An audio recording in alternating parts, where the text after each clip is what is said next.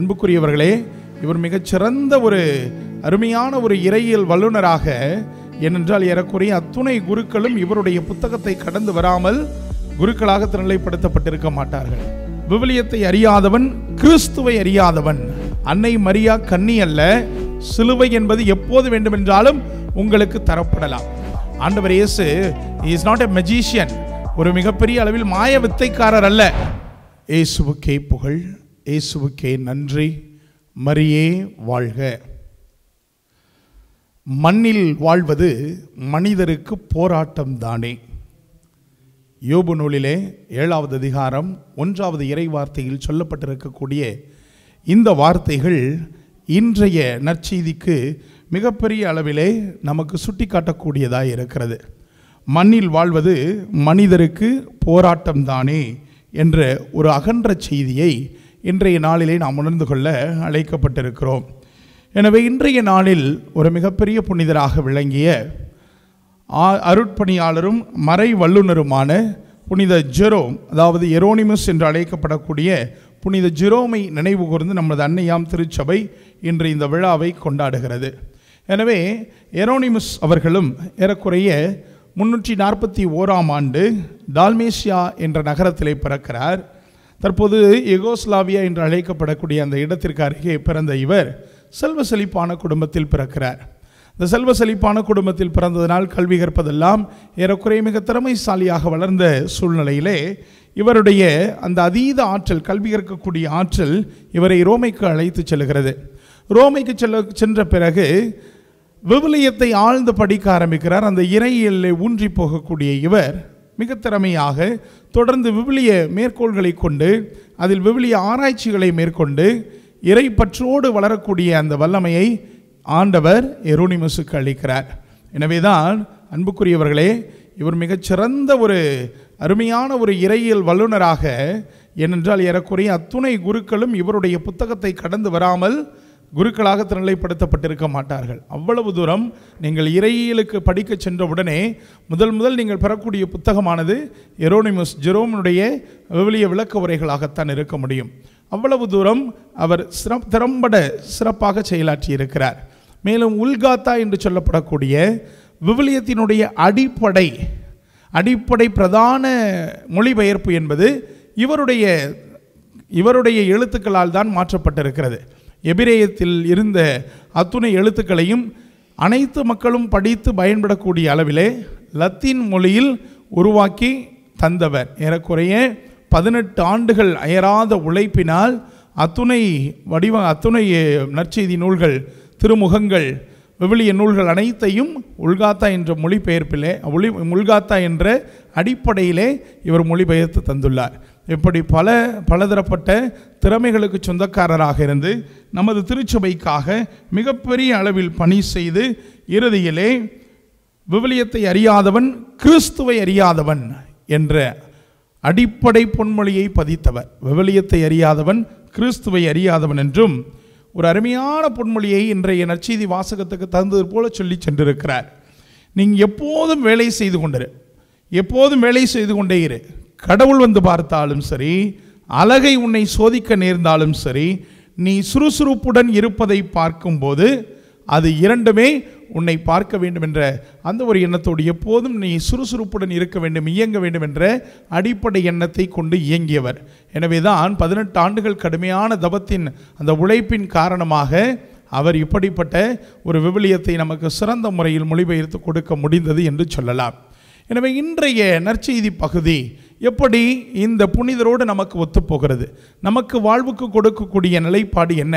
எனவே பல தடைகள் பல துன்பங்கள் பல பிரச்சனைகள் கடல் கடந்து நாடு கடந்து வந்து ஆண்டவரை உறுதியாக பற்றி கொண்டு விவிலியத்தை அறிந்து பல பேருடைய தடைகள் இருந்தாலும் பல பேர் இதற்கு எதிர்ப்பு தெரிவித்தாலும் இன்னுமாக சிறந்த முறையில் சொல்ல வேண்டுமென்றால் அன்னை மரியா கன்னி அல்ல மாறாக ஆண்டவர் இயேசுவுக்கு ஆண்டவர் இயேசுவினுடைய பிறப்பிற்கு பிறகு யோசேப்புக்கும் அன்னை மரியாவுக்கும் பல குழந்தைகள் இருந்ததாக சொல்லப்பட்ட தப்பறையான கொள்கையை கடுமையாக எதிர்த்து அன்னை மரியா முப்பொழுதும் கன்னியானவள் என்பதற்கு சரியான வாதத்தை கொடுத்து சென்றவர் இந்த எரோனிமுஸ் அவர்கள். எனவே இப்படிப்பட்ட சூழ்நிலைகளை எல்லாம் துன்பத்தை எல்லாம் திருச்சபையின் தொடக்க காலத்தில் சரிவர எதிர்கொண்டு மிக திறமையோடு கையாண்டதனால்தான் இன்றளவும் அன்னை மரியாவும் ஆண்டவர் இயேசுவும் யோசேப்பும் திருக்குடும்பமாக போற்றப்படுகிறார்கள் என்றால் இவர்களை போன்ற அடித்தட்டில் துணிந்து செயலாற்றி சாட்சியாக வாழ்ந்தவர்களால் தான். எனவே இன்றைய நற்செய்தி பகுதியிலே ஆண்டவர் இயேசு மிக அழகாக தன்னுடைய அன்பு சீடர்களுக்கு போதிக்கிறார். என்னவென்றால் துன்பத்தை நீங்கள் எதிர்கொள்ள காத்திருக்க வேண்டும். சிலுவை என்பது எப்போது வேண்டுமென்றாலும் உங்களுக்கு தரப்படலாம்.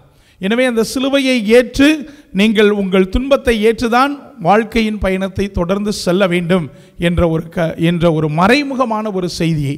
அதாவது மானிட மகன் பலவாறு துன்பப்படவும் மக்களின் கையில் ஒப்புவிக்கப்படவும் இருக்கிறார் என்ற வார்த்தையை ஆண்டவர் சொன்னவுடன் சீடர்கள் நிச்சயமாக கலங்கி போயிருப்பார்கள். ஏன் கலங்கி போயிருப்பார்கள் என்றால் இன்றைய நற்செய்தி பகுதியின் தொடக்கத்தை இயேசு செய்த யாவற்றையும் பார்த்து அனைவரும் வியப்படைந்தனர். அப்போ சீடர்களுக்கு என்ன தோணிருக்கும் இவ்வளவு ஒரு சக்தி வாய்ந்தவராக இருக்கிறார். அனைவரும் வியப்படையக்கூடிய அளவில் அவர் அப்பம் பழுகுகிறார் இறந்தோரை உயிர் பெற்றலச் செய்கிறார் பார்வையற்றோருக்கு பார்வை அளிக்கிறார் காதுகளருக்கு காது கேட்கச் செய்கிறார் நற்செய்தியை பரப்புகிறார். மக்கள் எப்படி வாழ வேண்டும் என்று அடிப்படை அதுதான். நீங்கள் ஆண்டவர் இயேசு இஸ் நாட் எ மெஜிஷியன் ஒரு மிகப்பெரிய அளவில் மாய வித்தைக்காரர் அல்ல இதெல்லாம் செய்கிறதுக்கு ஆனால் இதற்கு அப்பாற்பட்டு அவர் செய்த மிகப்பெரிய காரியம் மனிதம் வாழ்வு பெற வேண்டும் என்பதற்காக நற்செய்தியை போதிக்கிறார். அப்போ அந்த நற்செய்தியை போதிக்கும் போது தான் மக்கள் அவருடைய சக்தியை கண்டு வியக்கின்றனர். நம்முடைய வாழ்வின் அடிப்படை சாரத்தை சொல்லுகிறார். அரசு ஆட்டம் காண்கிறது. ஆழ்வோர்கள் இவரை பார்த்து கதி கலங்குகின்றனர். அப்படி ஒரு சக்தி மிகுந்த மனிதராக இருக்கக்கூடிய ஆண்டவர் இயேசு நான் சிலுவையில் அறையப்பட வேண்டும் என்று சொன்னபோது இவர்களுக்கு ஒரு கலக்கம் பிறக்கிறது. இது எப்படி சாத்தியம்? இது எப்படி உருவாகும்? இந்த துன்பம் நமக்கு தேவையா? பல நேரங்களில் வாழ்க்கையில் நாம் நினைக்கக்கூடிய காரியம் இதுவாகத்தான் இருக்கும்? ஒரு ஒரு பல பழைய நிகழ்வு ஒரு சிறிய ஒரு குறு நிகழ்வை சொல்லுவார்கள். ஒருத்தன் தீக்குச்சியை ஏற் தீக்குச்சியை எடுத்து கேண்டில் விளக்க பற்ற வச்சிருக்கிறான். இப்போ விளக்கை பற்ற வைத்தவுடன் விளக்கை பற்ற வைத்துவிட்டு தீக்குச்சியை கீழே போட்டுவிட்டு தீக்குச்சியை தொட்டு கும்பிடுகிறான். அப்போது அருகில் இருப்பவர் கேட்கிறார் ஏனடா விளக்கை அனைவரும் ஏற்றிவிட்டு விளக்கை தொட்டு கும்பிடுவர். நீ என்ன தீக்குச்சியை தொட்டு கும்பிடுறியே என்று சொல்லி கேட்டவுடன் அவன் சொன்னானா ஏற்றுனது பெரு ஏ- ஏ- ஏற்ற வைத்தது பெரிதா ஏத்தியது பெரிதா? அப்போ எப்போதுமே ஆண்டவர் இயேசுவினுடைய துன்பம் என்பது இன்பத்தை அடைவதற்கு எது அடிப்படையாக இருக்கிறது? துன்பம். எனவே உயிர்ப்பு என்னும் ஆட்சி ஆண்டவர் இயேசு அடைவதற்கு இந்த துன்பம் சிலுவை என்னும் துன்பம்தான் அவருக்கு முதலில் சக்தியை கொடுப்பதாக இருந்தது. எனவே நாம் எப்போதுமே துன்பத்தை ஏற்று மகிழ்வை சந்திக்க தயாராக இருக்க வேண்டும். பத்து மாதம் கருவை சுமக்கக்கூடிய சுமையில் இருக்கும்போது ஒவ்வொரு பெண்ணுக்கும் பல துன்பங்கள் வரலாம். அந்த வலி வேதனை என்பது அடிப்படையாக இருக்கலாம். ஆனால் அந்த பத்து மாதங்கள் கழிந்து ஒரு பிள்ளையை பெற்றெடுத்த பிறகு அடையக்கூடிய மிகப்பெரிய மகிழ்ச்சி இருக்கிறதே. அதற்காகத்தான் அந்த பத்து மாதங்கள் வேதனையை சுமக்கிறார். இதுக்கு ஒரு கூட நகைச்சுவையாக இந்த நிகழ்வை சொல்வார்கள். நம்ம தான் சூப்பர் மார்க்கெட் போகிறோம் இல்லையா? சூப்பர் மார்க்கெட் போகும்போதே மிகப்பெரிய கடைகளெல்லாம் அது சாதாரண கடைகளை விட்டுருங்க. மிகப்பெரிய சூப்பர் மார்க்கெட்டுக்கெல்லாம் போகும்போது போன உடனே என்ன பண்ணுவாங்க? ஒரு ட்ராலி ஒன்று ஒரு பக்கெட் ஒன்று கொடுப்பாங்க. ஏன் அதை கொடுக்குறாங்க அப்படின்னாக்கா நாம் கஷ்டப்பட்டு எந்த பொருளையும் சுமக்கக்கூடாதுன்னா அது இல்லை. மாறா நீங்கள் உள்ளே போனவங்க என்ன பண்ணக்கூடாது? ஒரு கூடையோ ஒரு தள்ளி தள்ளக்கூடிய ட்ராலியோ கொடுத்தாச்சுனாக்கா ஒரு பொருள் வாங்க போன நீங்கள் பத்து பொருள் வாங்கிட்டு வருவீங்க. அது அவனோட கான்செப்ட்டு ஆனால் நாம் என்ன நினச்சிக்கிறோம்? ஆக நம்ம தூக்கக்கூடாதுங்கிறதுக்காக சூப்பர் மார்க்கெட்டில் நம்ம சுமையை சுமக்கிறதுக்கு ஒரு எளிதான வாகனத்தை கொடுக்குறாங்கன்னு நாம் நினைக்கிறோம். அது வல்ல மாறாக அது வேற காரியம். ஆனால் இதே போல தான் சூப்பர் மார்க்கெட்டுக்கு ஒரு பெண் ஒரு பெண் ஒருவர் செல்கிறார். அந்த பெண் சூப்பர் மார்க்கெட் உள்ளே சென்று பல காய பல ப- காரியங்களை வாங்கி கொண்டிருக்கிறார். அப்போது ஒவ்வொரு பொருளாக எடுத்துக்கொண்டிருக்கும் போது அங்கே பணி செய்யக்கூடிய பெண் ஒருவர் அந்த பெண்ணுக்கு அருகே வந்து அம்மா இதுதான் ஆரஞ்சு பவுடர். இது ஒரு பிரச்சனையும் இல்லை. உங்களுக்கு ஆரஞ்சு ஜூஸ் நீங்கள் எடுக்கலாம் பிரிக்கலாம். பிரித்து உடனே கட் பண்ணி ஒரு கிளாஸில் கொட்டிட்டு தண்ணி ஊற்றுனீங்கன்னா ஆரஞ்சு ஜூஸ் ரெடி. ஆஹா என்ன அருமையான ஒரு தயாரிப்பு. ரெண்டாவது அங்கேருந்து போகிறான் அம்மா இதுதான் பாதாம் மில்க். நீங்கள் அழகாக வீட்டில் போன பிறகு கட் பண்ணி கொட்டி எடுத்து ஐஸ் தண்ணியை ஊற்றுனீங்கன்னா அழகான சுவையான பாதாம் மில்க் ரெடி. ஆஹா அருமையான தயாரிப்பு. மூணாவதாக போய் ஒரு பேபி பவுடர் ஒன்று இருக்குது. அந்த பேபி பவுடர் எடுக்கிறா. அம்மா ஆஹா இது எப்படி உருவாகிவிடக்கூடாது இப்போ கலக்கலாம் வெட்டலாம் ஊற்றலாம் இறுதியில் பேபி ரெடின்னு சொல்ல முடியாது. மாறாக உண்மையாகவே இன்று இருக்கக்கூடிய அத்துணை எண்ணங்களும் எப்படி இருக்கிறது? இன்ஸ்டன்ட் துன்பப்படாமல் கஷ்டப்படாமல் வேதனைப்படாமல் எதிர்பாராமல் அதாவது எனக்கு நடக்க வேண்டும் உடனடியாக. எல்லாமே நீங்கள் நினச்சி பாருங்கள் அளப்பரிய காரியங்கள். மனிதனுடைய செயல்கள் பல காரியங்கள். இன்று இன்ஸ்டன்ட் இன்ஸ்டன்ட் உடனடியாக உடனடியாக என்று சொல்லி நாம் எல்லாவற்றிலும் அவசரமாக சென்று கொண்டிருக்கிறோம். இப்போது துரித உணவகங்கள் அதிகமாக வந்துவிட்டன. இந்த துரித உணவகங்களுடைய செயல்பாட்டினால் எவ்வளவு கஷ்டப்படுகிறார்கள் பிள்ளைகள். எவ்வளவு தூரம் அந்த உணவு பதார்த்தங்கள் எல்லாம் பல நாட்கள் வைக்கப்பட்டு பாதுகாக்கப்பட்டு உடனடியாக செஞ்சு தரோம் உடனடியாக செஞ்சு தரோம் அவிச்சு பொறுக்கி உள்ள ஃப்ரிட்ஜில் வச்சு பத்து நாள் கழித்து தான் எடுக்கிறது. பத்து நாள் கழித்து எடுத்து உடனடியாக உங்களுக்கு செய்து தரணும்னு போட்டு பெரட்டி எடுத்து கொடுத்தாச்சுன்னா அந்த பத்து நாள் இருந்த உணவினுடைய அந்த நிலைப்பாடு உங்களை அதீத துன்பத்தில் ஆழ்த்துகிறது. எவ்வளோ பெரிய காரியம். முன்னாலாம் நம்ம எடுத்து வச்சு வேக வச்சு சுட சுட அன்றைக்கு உள்ளதை அன்றன்று செய்தபோது நாம் உடலில் சக்தியோடு இருந்தோம். இன்று எல்லாம் துரித உணவை தேடி நாம் ஓடிக்கொண்டிருப்பதனால் நமது உடலிலும் குழப்பங்கள் ஏற்படுகிறது. எனவே நமக்கு அற்ப சுகத்தை நாடி செல்லும் போது நிரந்தரமான துன்பம் நம்மை ஒட்டிக்கொள்கிறது. ஆனால் அதே தருணம் நிரந்தரமான கஷ்டத்தை நாம் ஏற்படுத்தி நாம் தாங்கிக் கொண்டோம் என்றால் நமக்கு நிச்சயமான மகிழ்ச்சி உண்டு என்பது எல்லா காரியங்களிலும் உண்டு. ஒவ்வொரு முறையும் இந்த விவசாயி என்பவன் ஒவ்வொரு முறையும் அந்த நிலத்தை உழுது அதை விதைத்து தண்ணீர் பாய்ச்சி களை எடுத்து அதற்குண்டான நேரம் வரை காத்திருந்து அந்த பயிரை எடுக்கும்போது அவன் தான் பத்து மாதம் சுமந்து பெறக்கூடிய பிள்ளையை போன்ற அந்த சுகத்தை அனுபவிக்கிறான். ஆனால் இன்று எல்லாம் எளிதாக எளிதாக எளிதாக என்று பிராய்லரில் வளர்க்கப்படக்கூடிய கோழிகளை போன்று முடங்கி போய்விடுகிறோம். எனவே இந்த சுமைகளை ஏற்றுக்கொள்ள நமக்கு மனம் வலிக்கிறது. தோல்விகளை ஏற்றுக்கொள்ள மனம் வலிக்கிறது. கஷ்டங்களை சகித்துக்கொள்ள மனம் வலிக்கிறது. அன்புக்குரியவர்களே இந்த ஒரு உதாரணத்தை சொல்ல கண்டிப்பாக கடமைப்பட்டிருக்கிறேன். நான் தற்போது பணி செய்யக்கூடிய இடத்துல வீடு சந்திக்க சென்றிருந்தேன். அப்போது எனக்கு நிச்சயமாக மிகப்பெரிய மகிழ்ச்சியை ஆண்டவர் எனக்கு ஒரு குடும்பத்திலே கொடுத்தார். அந்த சகோதரி எல்லா வாரமும் திருப்பலிக்கு வருவார் தொலை தூரத்திலிருந்து நடந்து வரக்கூடியவர் தன்னுடைய இரண்டு பிள்ளைகளை அழைத்து கொண்டு வேக வேகமாக ஆலயத்திற்கு ஓடி வருவார். வந்தவுடன் நல்ல முறையில் பேசி செல்வார். அவர் வீட்டை சந்தித்த போதுதான் உணர்ந்தேன் இவர் எப்படி ஆலயத்திற்கு வருகிறார் என்பதை. அவ்வளவு கடினமான சூழ்நிலை. வீட்டை சுற்றி சுவர்களே இல்லை. எந்த இடத்திலிருந்து எப்போது எந்த பூச்சி வந்து கடிக்கும் எப்படி இருக்கிறோம் எப்படி வாழ்கிறோம் கண்டுகொள்ளாத கணவன். நாள் முழுவதும் வேலை செய்வார். ஆனால் பன்னிரெண்டு மணிக்கு வரும்போது சு முழுவதுமாக குடித்துவிட்டு எந்த காசும் கொடுப்பதில்லை. சகோதரியினுடைய அளப்பரிய கஷ்டத்திற்கு அளவே இல்லை. சொல்லி கண்ணீர் விட்டு அழுகிறார். நான் திருமணம் செய்ததிலிருந்து இப்படிப்பட்ட வாழ்க்கையை வாழுகிறேன். யார் எங்களை எப்போது தொந்தரவு செய்வார்கள் என்று எங்களுக்கு தெரியாது. சுற்றி இருப்பவர்கள் எல்லாம் எனக்கு எதிராக இருக்கிறார்கள். அப்படிப்பட்ட சூழ்நிலையிலும் ஆண்டவர் என்னை காப்பார் என்ற ஒரே நம்பிக்கை தான் ஃபாதர் இத்தனை வருஷமாக இந்த ஓப்பனாக இருக்கக்கூடிய திறந்திருக்கக்கூடிய இந்த வீட்டில் வசிக்கிறேன் ஃபாதர் பூட்டி இருக்கக்கூடிய பல வீடுகளில் இந்த இடத்துல பாம்பு வந்திருக்கு ஃபாதர் ஆனால் இத்தனை வருஷமாக இருக்கிற என் வீட்டில் ஒரு நாள் கூட வந்ததில்லை ஃபாதர் எவ்வளோ ஒரு நம்பிக்கை பாருங்கள் தனது துன்பத்திலும் ஆண்டவர் என்னை காப்பார் என்ற அதீத நம்பிக்கை. எனவே இதைத்தான் ஆண்டவர் இயேசுவும் இன்றைய நச்செய்தியிலே மிக அழகாக தன்னுடைய சீடர்களுக்கு கற்றுத்தர விரும்புகிறார். நீங்கள் துன்பத்தில் துவளாமல் இறைவனை நோக்கி நம்பிக்கையோடு இருந்தீர்கள் என்றால் நீங்கள் நிச்சயமாக காக்கப்படுவீர்கள். எனவே நாம் எப்போதும் ஒருபோதும் மனதை சலனப்படுத்திக் கொள்ளக்கூடாது. மாறாக இறைவன் எனக்கு துணை நிற்கிறார் என்னை பாதுகாக்கிறார் எனக்குண்டான காரியத்தை தருவார் என்ற உறுதியான நம்பிக்கை வேண்டும். ஆனால் அதே தருணம் அவரோடு ஆண்டவரோடு இணைந்திருந்த சீடர்கள் எல்லாம் நினைத்திருந்தது என்ன?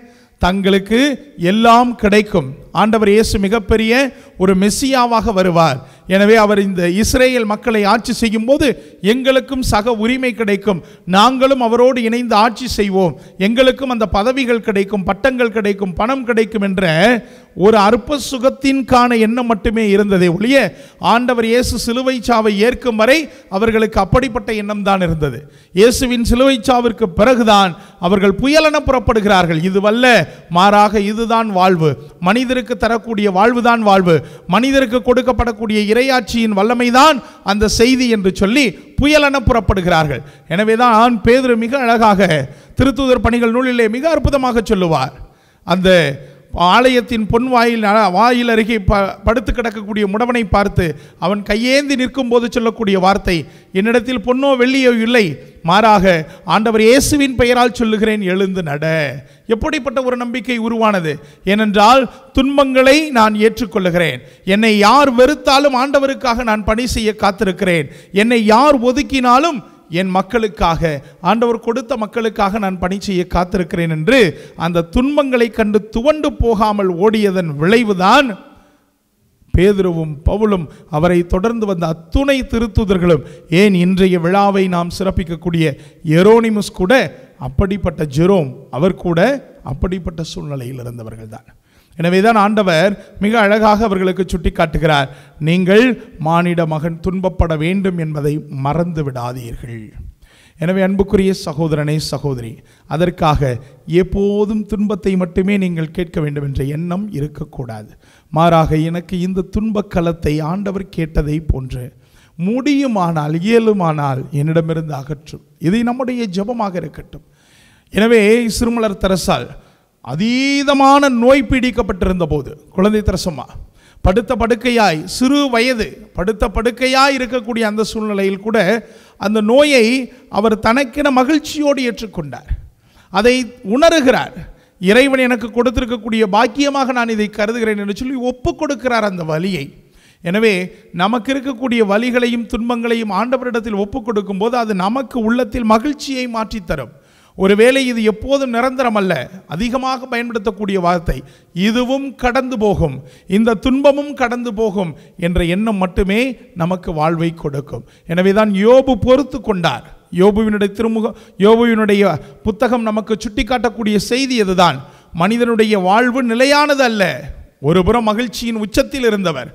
ஒருபுறம் புகழின் உச்சத்தில் இருந்தவர் ஆடம்பரத்தின் உச்சத்தில் இருந்தவர். அவை அனைத்தையும் இழந்து இறைவனுடைய திருமு நிலையில் நான் ஒன்றுமில்லை என்பதை உணர்ந்திருந்து அவர் சொல்லக்கூடிய வார்த்தை பிறந்த மேனியாய் வந்தேன் பிறந்த மேனியாய் நான் போகிறேன் என்று சொல்லக்கூடிய அளவிற்கு அந்த துன்பத்தை அனுபவித்த போதும் அவர் ஆண்டவரை நிகழ்ச்சிக்கு உட்படுத்த விரும்பவில்லை. மாறாக ஆண்டவர் கொடுத்தார் ஆண்டவர் எடுத்துக்கொண்டார் அந்த வார்த்தையை மட்டுமே சொல்லி நிலைத்து நின்றார். எனவேதான் மீண்டுமாக இரு மடங்காக நூறு மடங்காக மீண்டும் மீண்டும் பெற்றுக்கொள்ளக்கூடிய ஆசிர்வாதத்தை யோபு பெற்றுக்கொண்டார். எனவே அன்புக்குரிய சகோதரனே சகோதரியே துன்பங்கள் நமக்கு துணைக்கு வரும்போது அது இன்பத்தின் வெற்றியின் மகிழ்ச்சியில்தான் கொண்டு போய்விடும். வலிகளை பார்த்து பயிற்சி செய்யாதவன் ஒருபோதும் வெற்றி பெற முடியாது. இதை நான் சொல்லும்போது எனக்கு மிகப்பெரிய அளவு ஒரு விதமான எண்ணம் உருவாகிறது. பல நேரங்களில் உடற்பயிற்சி செய்ய வேண்டும் உடற்பயிற்சி செய்ய வேண்டும் என்று பலர் சிந்திப்பதுண்டு. எனக்கு கூட பல பேர் சொல்வதுண்டு. ஒவ்வொரு நாளும் அப்படித்தான். நாளை செய்வோம் நாளை செய்வோம். கஷ்டத்தை எதிர்கொள்ள வேண்டிய வே- எதிர்கொள்ளவில்லை என்றால் சிரமத்தை எதிர்கொள்ளவில்லை என்றால் துன்பத்தை எதிர்கொள்ளவில்லை என்றால் நாளைய மகிழ்ச்சிக்கு அளவே இல்லை. நீங்கள் கூட நினச்சி பாருங்கள் சிம்பிள் சாதாரண உதாரணம். நாமெல்லாம் முன்னால் வீடுகள் எல்லா வீடுகளிலும் கீழே அமர்ந்து அழகாக சமணக்கால் போட்டு உட்காந்து சாப்பிடுவோம். அப்படிதானே?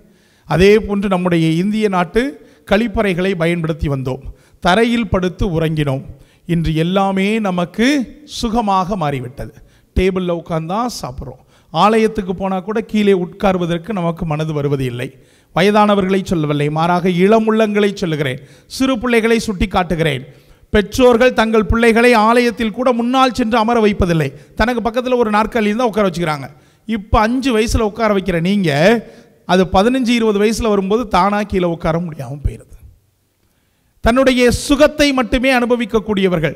கஷ்டத்தை அனுபவித்து அந்த பிள்ளை காலை சமணக்கால் போட்டு கீழே உட்காந்தா ஐம்பது வயது வரை நல்ல நிலையில் வளர்ச்சி அடையும். ஆனால் இப்போது முடியாது முடியாது என்று சொல்லி பாருங்கள் எவ்வளவு பேருக்கு இன்றைக்கி கீழே உட்காந்து சாப்பிட முடியல? எங்கே போனாலும் ஏதாவது ஒரு டேபிள் தேவைப்படுது.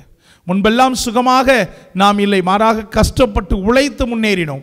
இன்று சுகமாக இருந்த இடத்திலிருந்து சம்பாதிப்பதனால்தான் பலருக்கு அதனுடைய காரியம் புரிவதில்லை. நீங்கள் வேணால் இன்னொன்று கூட உதாரணத்துக்கு பாருங்கள் கஷ்டப்பட்டு சமைச்சு சாப்பிட்ட போது நமக்கு இருந்த டேஸ்ட் என்ன? இன்னைக்கு ஸ்விக்கிலையும் மற்ற ஆப்லையும் ஆர்டர் பண்ணி வரும்போது அந்த உணவும் நமக்கு சரிவர கொடுக்கப்படுவதில்லை. இன்று சுகத்தை எதிர்பார்க்கும் போது சுமைகளை ஏற்றிக்கொள்ளுகிறோம். மாறாக சுமைகளை ஏற்றி துன்பத்தில் வாழும்போது சுகத்தை அனுபவிக்கிறோம். எனவே இந்த மனித வாழ்வு புலம்பல்தான் கஷ்டம்தான் துன்பம்தான் யோபு சொல்வதைப் போன்று.